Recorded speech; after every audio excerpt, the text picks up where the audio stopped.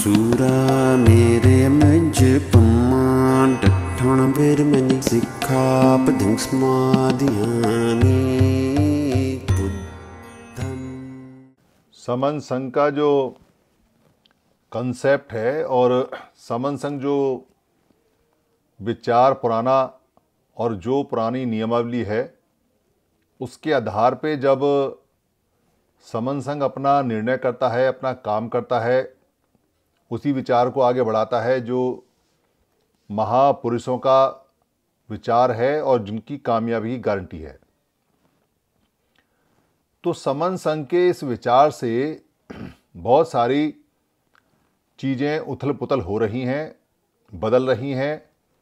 लोगों में, संगठनों में और इस विचार के विरोध में और जो इस विचार से अनजान हैं, जिनको जानकारी नहीं है, उनमें बहुत ज़्यादा उथल पुथल है, हलचल है, घबराहट है और सुखद भावना भी है। जो समझ रहे हैं वो बहुत ज़्यादा सुखी भी हैं।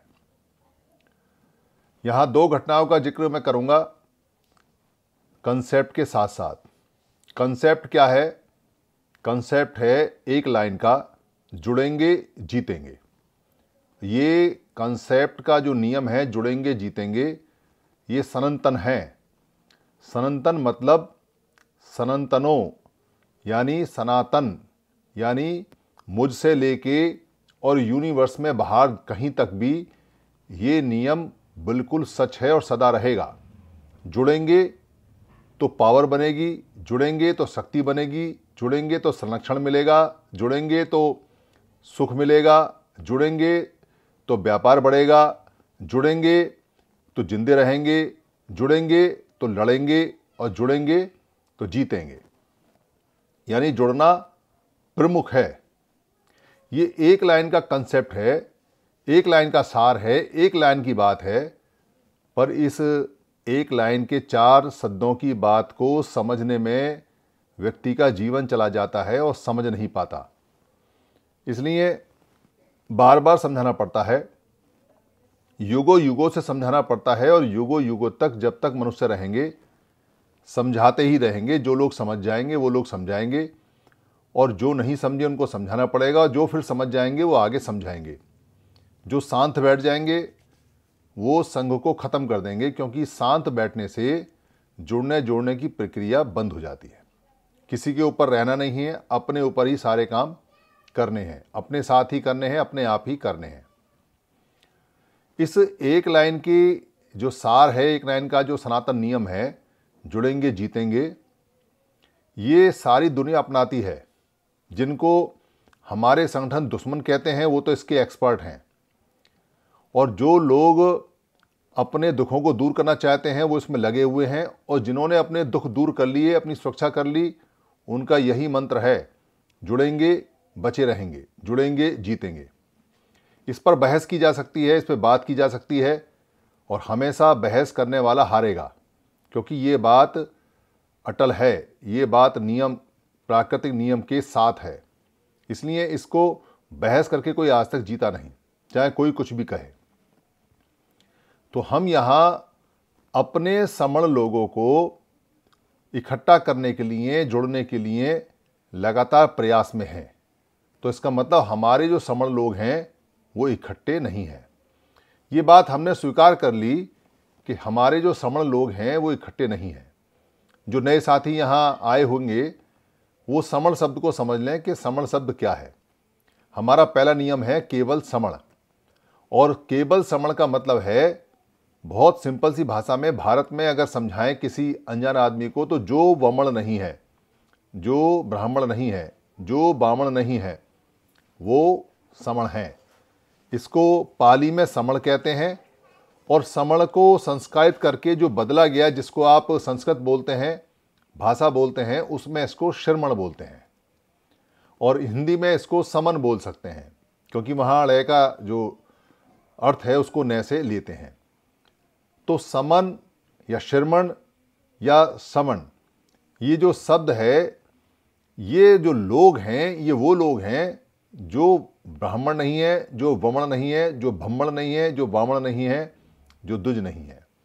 ये सिंपल सी एक लाइन में है।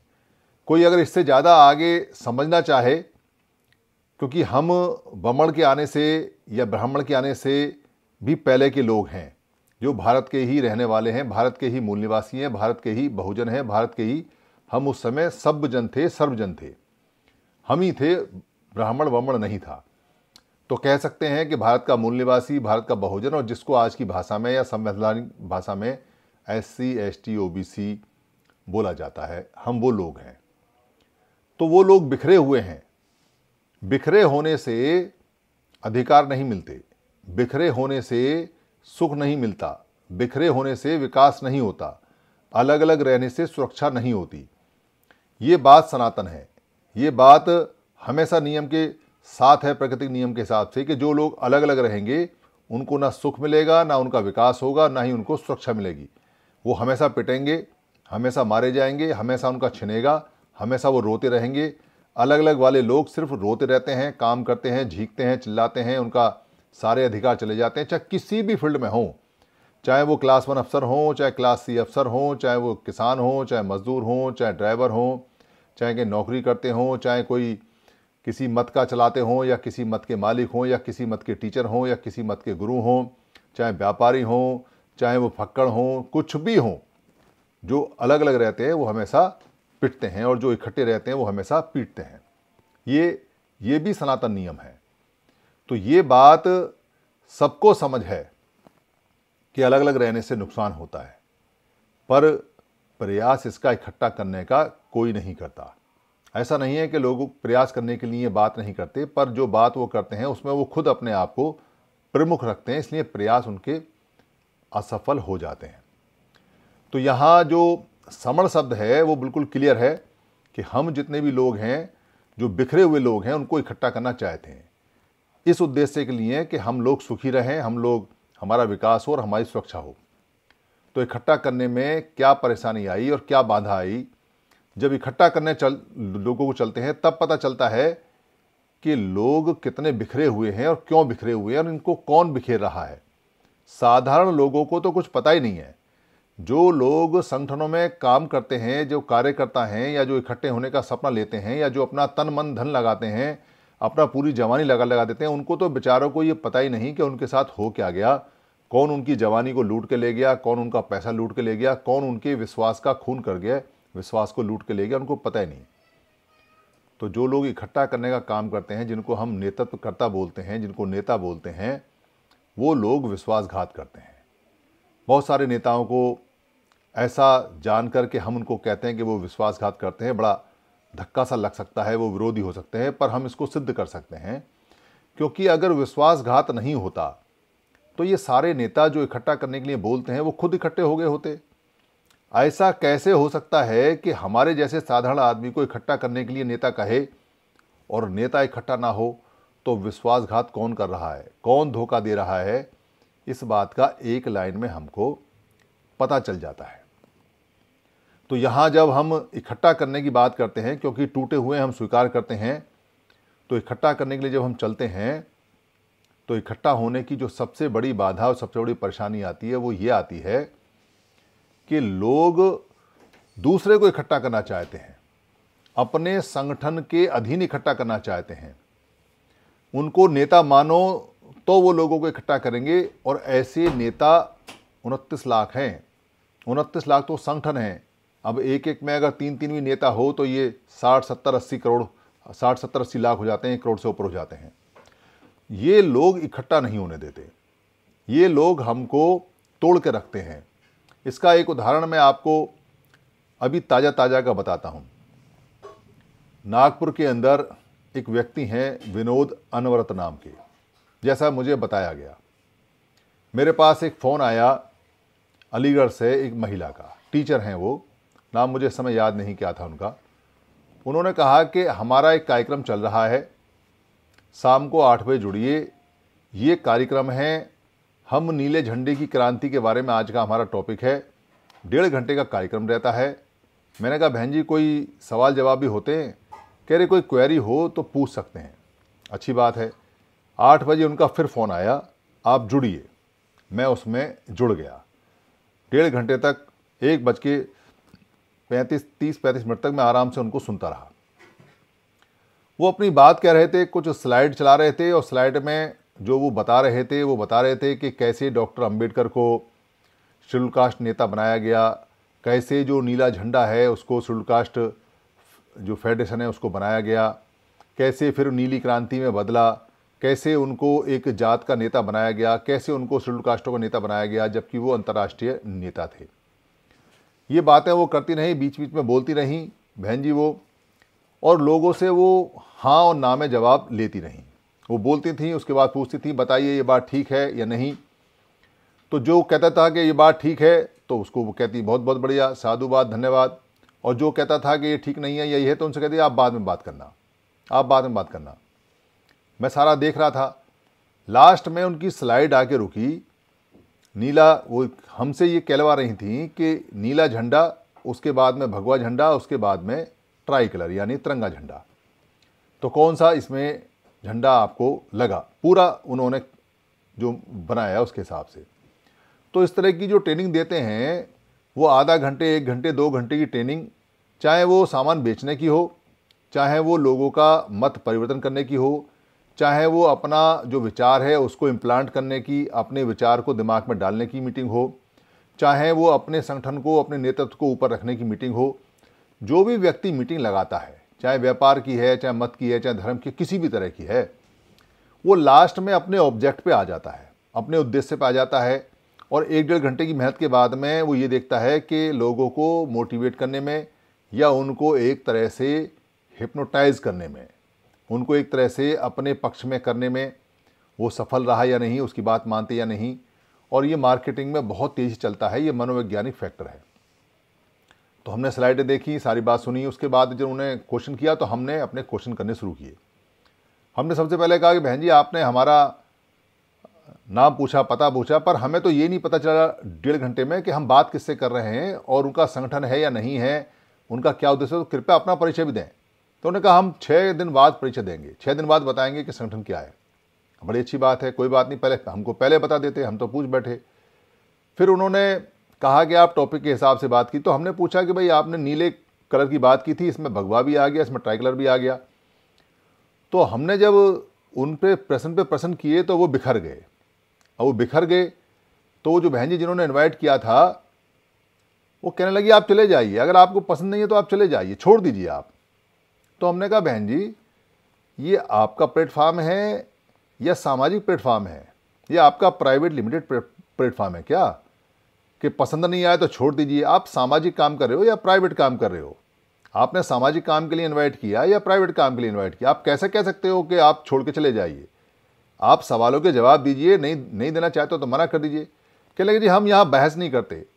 अरे भाई, बहस नहीं करते तो हमसे क्यों पूछ रहे हो कि बताइए ये ठीक है या नहीं है?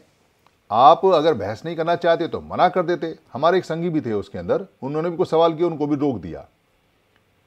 वहाँ कुछ वो उनको लगा कि ये तो आदमी कुछ सवाल कर रहा है और जवाब उनके पास थे नहीं तो वो विनोद अनवरत भी आए। मेरा मोबाइल जब तक ऑफ़ हो गया, मैं बात नहीं कर, बात नहीं कर पाया। बाद में एक और फ़ोन आया शाम को। दोपहर में एक फ़ोन आया, उनसे बात हुई। मैंने उनसे कहा कि भाई देखो, आप इस बात पे क्यों एडामेंट हो, इस बात पे क्यों जिद करते हो? आपने जो स्लाइड दिखाई है, आपने जो बात कही है, जो आपका विचार है, जो आपने बनाया है सिस्टम वही सही है। आपका एक व्यक्ति या दो व्यक्ति या तीन व्यक्ति अगर इसको सही कहते हैं तो आपके लिए सही होगा ना?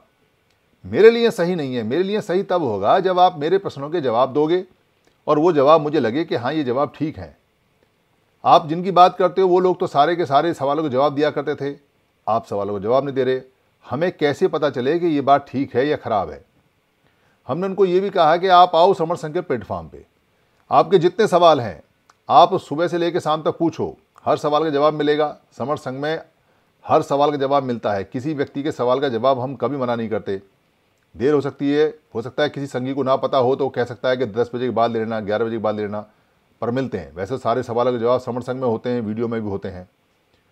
पर आप सवालों के जवाब नहीं देना चाहते तो आप यहाँ आइए और आके देखिए कि कैसे होता है। यहाँ कोई चीज़ छुपा नहीं जाती। मैंने उनसे ये भी कहा, मैंने कहा, भाई, आप कोई रहस्य में कार्य, कोई काम कर रहे हैं क्या सामाजिक?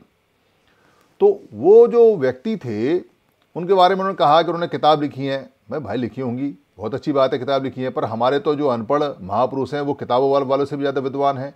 हमारे बुद्ध ने तो एक भी किताब नहीं पढ़ी, कबीर साहब ने तो एक भी किताब नहीं पढ़ी। लोग उन पर किताब लिखते हैं पीएचडी करते हैं और सांस से कहते हैं, मैंने पीएचडी लिखी है। इसका क्या मतलब है? किताब लिखने से आदमी बुद्धिमान नहीं हो जाता। हम ये नहीं कहते कि वो बुद्धिमान नहीं है, पर आपको बुद्धिमानी, समाज से आपको बुद्धिमानी का सर्टिफिकेट लेना पड़ेगा। आप अगर समाज को कोई प्रोडक्ट देते हैं, समाज कोई बात देते हैं तो समाज की अप्रूवल लेनी पड़ेगी, संघ की अप्रूवल लेनी पड़ेगी। अप्रूवल को लेता नहीं, पूछता नहीं। मैंने उनसे कहा कि, भाई, आओ ना एक तारीख में आके देखो कि कैसे यहाँ हाउस लगता है, कैसे कोई बात कही जाती है, कैसे नियम बनता है, पुराने सिस्टम से बनाते हैं। मैंने उनको बहुत समझाया कि भाई, व्यक्तिवादी नहीं चलेगा। आप जो चेहरा बार बार लेके आते हो, नाम लेके आते हो, फिर अपने कमरे में पॉलिसी बनाते हो, फिर कोई कार्यक्रम बनाते हो, उस कार्यक्रम की अप्रूवल लेनी पड़ेगी सोसाइटी से। दिक्कत ये हो रही है कि उनतीस के उनतीस लाख संगठन ये समझते हैं कि वो क्रांति कर देंगे और वही जानते हैं और उन्हीं का विचार सबसे अच्छा है और उन्हीं के पास नीति है और उन्हीं के पास रणनीति है और वही करेंगे और कोई कर नहीं सकता। इस, ये जो ओवर कॉन्फिडेंस है कॉन्फिडेंस होना अच्छी बात है। ये जो ओवर कॉन्फिडेंस है कि मैं ही करूँगा, मैं ही करूँगा, अरे तो भाई कर लो ना, पर एक बार समाज से अप्रूवल तो ले लो। करना तो समाज के लिए है, रहेगा तो साथ समाज ही, करेगा तो समाज ही। पर अप्रूवल लेने के लिए कोई नहीं आता। अपनी बात को करने के लिए कोई नहीं आता। चार सवाल पूछ दो तो बिखर जाते हैं। चार सवाल पूछ दो तो कहते हैं जी, आप पोर्टल छोड़ दीजिए। जैसे उनके प्राइवेट लिमिटेड है। अरे भाई, आपको समाज से अप्रूवल लेनी पड़ेगी। समाज के अंदर अब व्यक्तियों के चेहरे नहीं चलते। समाज किसी व्यक्ति व, किसी व्यक्ति की बुद्धि के पीछे चलने को तैयार नहीं है। यहाँ ऐसे ऐसे लोग हैं जो पाँच पाँच छः छः आदमियों से धोखा खा चुके हैं। हम लगातार देख रहे हैं। कितने सारे नेता आते हैं, हम उनको नेता बनाते हैं, अपना पैसा देते हैं, अपना तन देते हैं, मन देते हैं, बुद्धि देते हैं, धन देते हैं। हम उनकी वाहवाही करते हैं, झंडा उठाते हैं और फिर कुछ देर बाद हम ही उनको गाली बकते हैं। अरे, धोखेबाज निकल गया। अरे भाई, धोखेबाज वो नहीं है, धोखेबाज आप हो। आप आप धोखेबाज इसलिए हो क्योंकि आप धोखे में रहते हो, आप सवाल नहीं पूछते, आप पूछते नहीं कि कौन कौन नहीं। वो बहन जी कहने लगी, मैंने कहा, वह बयालीस आदमी थे, अगर इकतालीस आदमी वहाँ कुछ नहीं बोलते हैं तो इसमें मेरा दोष नहीं है अगर वो गूँगे बहरे हैं। पर मैं गूँगा बहरा नहीं हूँ, आपको मेरे सवाल का जवाब देना तो कह रही हमें तो इकतालीस आदमी चाहिए। हमको आप जैसे आदमी नहीं चाहिए। अरे भाई, इकतालीस आदमी तो अच्छे लगेंगे ही, क्योंकि आपकी बात सुन के वो हाँ ना हाँ करे, ना ना करे, पर वो इकतालीस आदमी भी साथ नहीं रहते किसी के। ये बदलते रहते हैं, ये हर जगह जाके हाँ करते रहते हैं। किसी भी प्लेटफॉर्म पर चले जाएँगे, चार बात सुनेंगे, फिर कहेंगे, बहुत अच्छा बहुत अच्छा बहुत अच्छा। और क्योंकि वो सवाल नहीं करते, जवाब नहीं करते, कौन करे सवाल जवाब? दिमाग लगता है, बुद्धि लगती है, बुरा बनना पड़ता है। सवाल जवाब करोगे तो किसी से भी सवाल करोगे तो सामने वाले के मन से तुरंत उतर जाते हैं, हमसे सवाल कर दिया। क्योंकि हर आदमी यहाँ राजा बना बैठा है, हर आदमी यहाँ अपनी बुद्धि का मालिक बना बैठा है, हर आदमी शहनशाह बना बैठा है। जरा सवाल कर दो उससे तो उसको लगता है, ये आदमी ठीक नहीं है तो सवाल करता है। तो सवाल करने वाली तो घर में जो बहू आती है, वो भी अच्छी नहीं लगती, क्योंकि उसके अधिकार दबा रखे हैं। बहू आके सवाल पूछ ले कि घर में ये क्या चल रहा है, वो क्या चल रहा है, कह रहे, चार दिन की बहू आई और हमसे सवाल कर रही है, उसे भी लोग पसंद नहीं करते। तो ये तो सामाजिक काम है। तो हज़ार बार बताया, ये समस्या है कि यहाँ व्यक्तियों के चेहरे नहीं चलेंगे। समर संघ किसी भी हालत में इन तरह के जो लोग हैं, उनतीस लाख संगठन हैं, जो अकेले अकेले चल रहे हैं, उनसे सवाल लगातार करेगा। और यहाँ जो लोग जो बैठे हुए सुने हैं, वो भी अपने अपने सवालों को निकाल लें बाहर और सवाल करना शुरू करें लोगों से कि आखिर चल क्या रहा है। संगठन पे संगठन आए जा रहे हैं, संगठन पे संगठन आए जा रहे हैं और हमारा बेड़ा गर्क पे बेड़ा गर्क हुआ जा रहा है। एक बात। दूसरी बात